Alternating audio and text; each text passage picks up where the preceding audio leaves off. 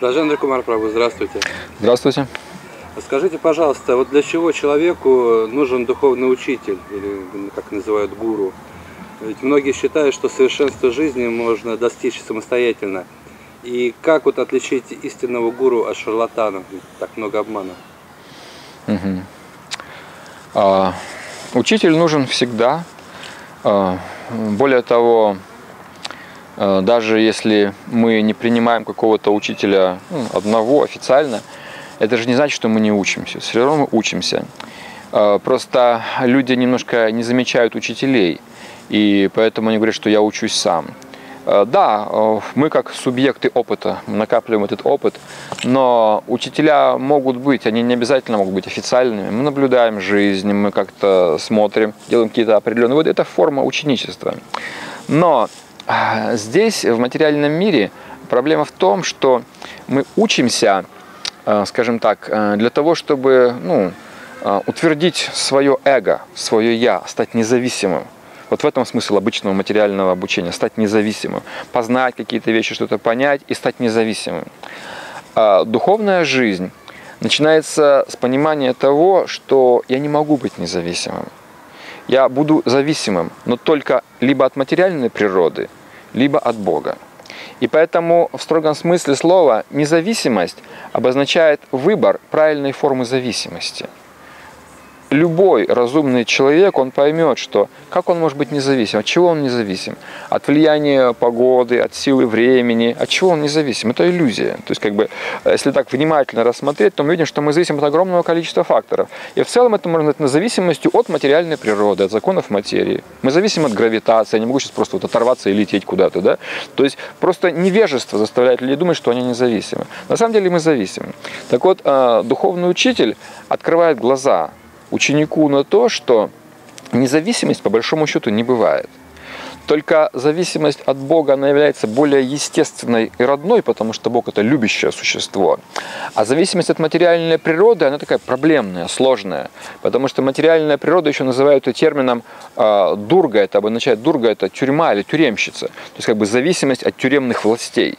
Эта зависимость, она такая проблемная, потому что ну, там все, режим жесткий, в тюрьме жесткий режим. Точно так же материальный мир, он может быть жестче, мягче, но в целом степень зависимости здесь от этих законов очень сильная. Так вот, духовный учитель, он а, учит нас тому, как стать зависимым напрямую от Бога, и когда живое существо обучается этому искусству, оно становится менее зависимым от материальной природы. То есть закон кармы, закон всех этих вот материальных влияний, он реально меньше действует. То есть смысл в том, что изначальный учитель – это Бог. И он учит нас в любом случае, независимо от того, принимаем мы его или нет. Вот когда человек, допустим, не хочет учиться, ему говорят, ну ладно, тебя жизнь научит. Имеется в виду, что такая пословица, знаете, что с неразумными людьми Бог говорит на языке обстоятельств. То есть он все равно учит их через какие-то жизненные обстоятельства. Вот, то есть либо мы будем учиться вот в такой школе палочной дисциплины, жесткие обстоятельства, либо мы Э, скажем так, э, добровольно и естественно принимаем систему какого-то образования, да, вот, ну, материальное образование, есть духовное образование. То есть духовный учитель – это, скажем так, он дает продолжение образования. Допустим, мы прошли в школе, там, в университете какие-то общие законы материального мира, законы физики, химии, социального развития, что-то еще, как бы, но этим жизнь не исчерпывается. То есть жизнь есть еще духовное измерение, и духовный учитель, он продолжает наше образование – уже в духовной сфере. Он рассказывает нам о тонких законах. Если даже э, для изучения законов материальных требуется учитель, часто ученик читает учебник, он вроде бы читает, там все старались писать, все старались писать понятно, да, но у каждого есть такой опыт, что мы читаем, читаем, вроде бы понимаем, потом раз, не понимаем. Как быть? Надо спросить. Я начинаю спрашивать, учителя, скажите, пожалуйста, это что? И он объясняет. То есть не бывает такого, чтобы человек вот сам до всего додумался, все равно у кого-то спрашивает. То есть все равно он кого, кого-то учителем принимает. И тот, кого он спрашивает, это и есть его учитель. Но это просто может иметь такой спонтанный характер. Один, второй, третий. А духовный учитель, когда мы принимаем его, это наш сознательный выбор, сознательное действие, э, личность, которая нас вдохновляет, которая нас э, просветляет, которая объясняет какие-то вещи.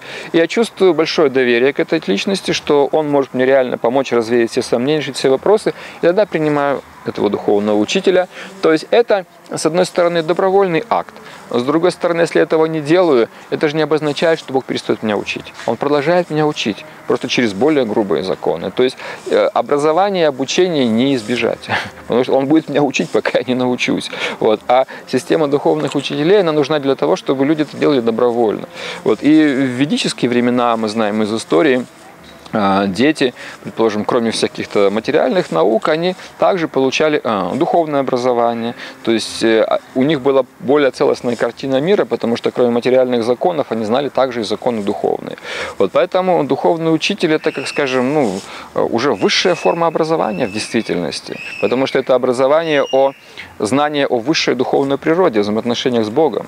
Если мы просто изучаем законы материи, это не высшее образование, это низшее образование. Потому что материя, согласно ясноведам называют ее апара прокрити, низшая, низшая энергия, а духовное знание называют пара прокрити, высшее. Поэтому духовное знание, вот это есть реальное высшее образование, то есть знание о высших законах. И учитель, скажем так, ну, профессор, профессор духовных наук, который э, делится своим опытом, э, пониманием.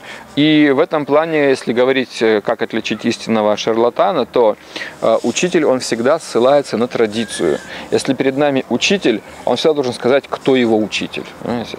То есть учитель, он не самозванец, да, он всегда откуда-то берется какой-то традиции. Да, потому что в Ведах говорится, что изначальный учитель это сам Бог. И у него появляется, скажем, он каких-то вот первых учеников, последователей в мир запускает, и от них уже вот эта вот э, цепь ученической преемственности идет. Вот поэтому учитель это никогда не самозванец, это всегда слуга вот этой вот цепи ученической преемственности, который чисто, смиренно, без изменений передает послание вот это. И значит, первое, значит, это то, что у него есть учитель, он в традиции вписан. Вот, а, как бы у него, как это, как сказать, такая родословная, духовная. Вот, а, что он это знание не выдумал из головы, а взял откуда-то. И также он ссылается на канонические тексты, принятые в традиции. То есть все, что он говорит, он подтверждает определенными текстами.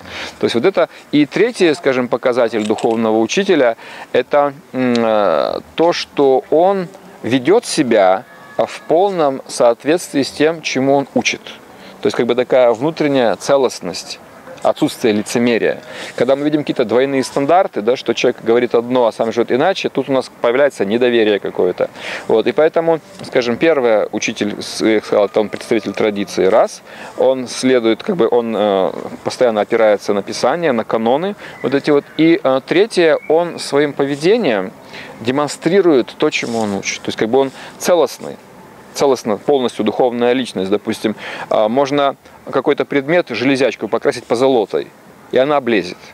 А если золото, то оно и на поверхность золота, и внутри золота. Целостность такая, понимаете? Так вот, э, духовный учитель – это э, духовно зрелая, целостная личность, который в любых обстоятельствах, благоприятных, неблагоприятных, он всегда сохраняет свою преданность этим духовным идеалам. В частности, если говорить о, а, скажем, вот нашем обществе, да, обществе э, вайшнавов, преданных Кришны, то в нашей традиции духовный учитель – это тот, кто учит любви к Кришне.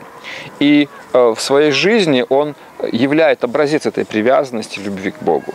Вот, то есть, если мы видим, что человек э, служит Богу, говорит о Боге, прославляет Бога, обучает других служить Богу, это и есть признак настоящего, как мы говорим, такого авторитетного, да, тут кому можно верить, доверять э, духовного учителя.